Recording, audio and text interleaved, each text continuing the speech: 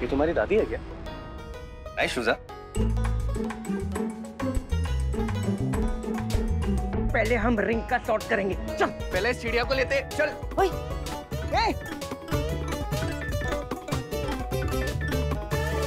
अरे रुक रुक। हल हल।